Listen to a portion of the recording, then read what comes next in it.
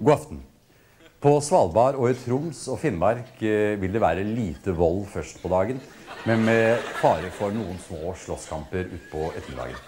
I Nordland og Trøndelag vil det bli noe tiltagende vold med frisk skyting på kysten, og postfunksjonærer i dette området bør være forberedt på enkelte haglbyger. I Norskehavet og rundt Stad, ned til Lindesnes, kan vi vente en kraftig voldsbølge på de mest utsatte kyststrøkene. Østafjells eh, samt fjelltraktene i Sør-Norge vil det som vanlig bli kraftig kuleregn enkelte steder.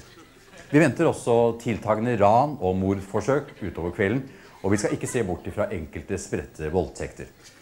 Utover natten forventes også en rekke knivstikkinger og skyteepisoder. Og temperaturen vil stige utover kvelden, og i flere diskokøer og innvandrermiljøer vil den være på kokepunktet rundt ca. klokken fire i morgen tidlig. Så til slutt skal vi ta en titt på voldsoversikten frem til lørdag. Vi venter først en frisk